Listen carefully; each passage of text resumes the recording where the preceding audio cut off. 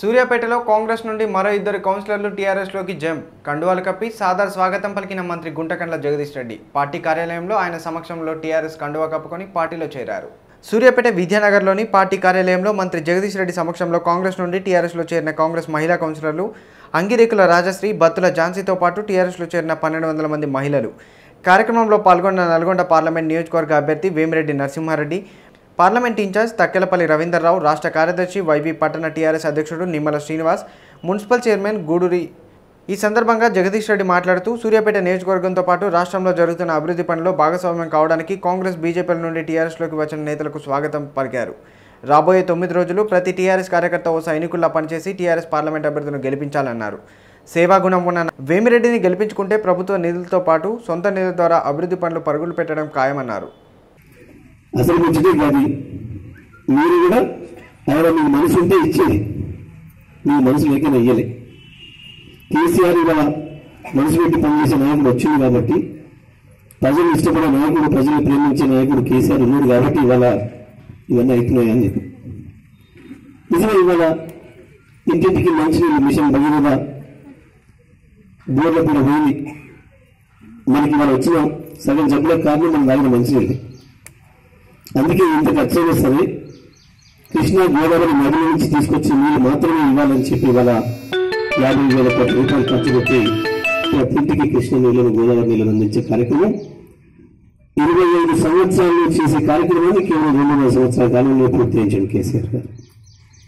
వాస్తవానికి ఇరవై సంవత్సరాల ప్రాజెక్ట్ అది. రెండున్నర అంటే రెండున్నర ఏళ్ళలోనే రాత్రి పనులు తనే స్వయంగా మానిటర్ చేసే ఆ ప్రాజెక్టు పూర్తి చేయించాడు వారు అందుకే వచ్చి చూస్తున్నారు. మిషన్ కాకతీయ ఎవరు కలగండి. కాకతీయ రాజులు కట్టిపోయిన చెరువులు మళ్ళీ కేవలం వాళ్ళ కేసీఆర్ వచ్చిన తర్వాత ఎప్పుడు నడుపుతారు జరుగుతున్నాయి. ఈ రకంగా కేసీఆర్ చేసే ఆలోచనలు కళ్యాణ లక్ష్మి కార్యక్రమం ఈ ఇంట్లో ఆడపిల్ల పెళ్ళి చేసుకుని లక్ష రూపాయలు ఇచ్చే కార్యక్రమం ఏ తల్లి అడగలే ఈ తల్లి అడగలే కేసీఆర్ స్వామి ఆలోచన చేసి ఇచ్చిన కార్యక్రమం. ఎందుకంటే అప్పుల బాధితులు చాలా మంది చనిపోతున్నారంటే కారణం ప్రధానంగా పెళ్ళి చేసిన అప్పే ఇబ్బందులు పెడతా ఉంది. పెళ్ళికి వచ్చిన అమ్మాయికి పెళ్ళి చేయలేకపోతే అవమానం అని చెప్పి తప్పకుండా అప్పు సప్పు చేసి పెళ్ళి చేస్తారు. పెళ్ళి చేసిన అప్పు తీరదు. దాంతో కుటుంబాలు ఆగమవుతున్నాయి. అందుకే ఆ పెళ్ళి బాధ్యత మనం కొంత తీసుకుందామని చెప్పి ఆలోచన చేసి పెళ్ళి సాయం చేసిన ఏకైక ముఖ్యమంత్రి ఈ దేశంలో ఏకైక రాజకీయ నాయకుడు ప్రపంచంలో కేసీఆర్ ఒక్కడే. ఇంకోటి కూడా కాదు.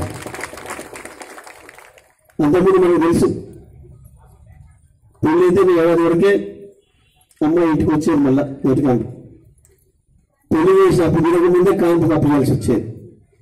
ప్రైవేట్ దాఖలు పోతే అక్కడ లేకుండా ఆపరేషన్లు. ముప్పై వేలు నలభై వేలు యాభై వేలు పెట్టి రావాలి. కానీ ఇవాళ ఏమవుతుంది ప్రభుత్వం ఎదురు పన్నెండు వేలు ఇచ్చి ప్రభుత్వ ఆసుపత్రిలో ఉచితంగా డెలివరీ చేసి పదిహేను రకాల వస్తువులు తల్లి బిడ్డలకు ముందులో జరిపిన వస్తువుని సూట్ కేసులో పెట్టి ప్రభుత్వ కార్యాలయం ఇంటికి కూడా తెచ్చిచ్చే కార్యక్రమం అమ్మఒడికి కార్యక్రమం అమలు చేస్తున్న ఏదైతే ప్రభుత్వం కూడా ప్రపంచంలో ఒక్క తెలంగాణ ప్రభుత్వమే. ఇదివరకు చేస్తారు? రైతుల గురించి మాట్లాడలేదు ఒకటి మీద కూడా మాట్లాడండి. ఇవాళ మాట్లాడుతున్న మోడీ రాహుల్ కూడా రైతుల గురించి మసలు కమ్మని కాల్చిన వాళ్ళు కానీ ఒక్కరు కూడా రైతులు బాగు చేసే పని చేయలేదు.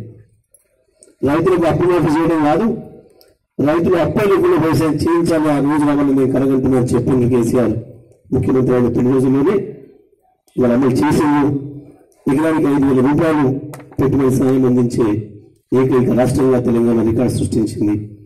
అంతేకాదు ఏ రైతు అకాల మరణం చెందినా ఆ రైతు కుటుంబం కూడా మీద పడకుండా ఉండాలని చెప్పి ఆ రైతు పిల్లలు అనాథలు కాకుండా ఉండాలని చెప్పి ఐదు లక్షల రూపాయల బీమా చనిపోయిన వారం రోజుల లోపల ఇంటికి వచ్చి ఐదు లక్షలు ఇచ్చిన కార్యక్రమం మొత్తం ప్రపంచంలోనే చేస్తున్న ఏకైక ప్రభుత్వం కూడా తెలంగాణ ప్రభుత్వమే కేసీఆర్ ప్రభుత్వం.